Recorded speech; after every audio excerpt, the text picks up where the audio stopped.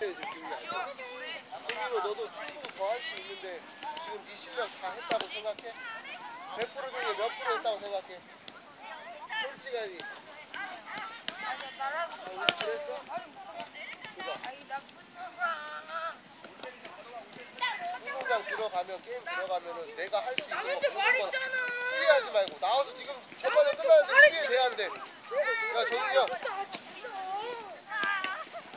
돼야 안 돼. 그지 조금 더 잘할 걸.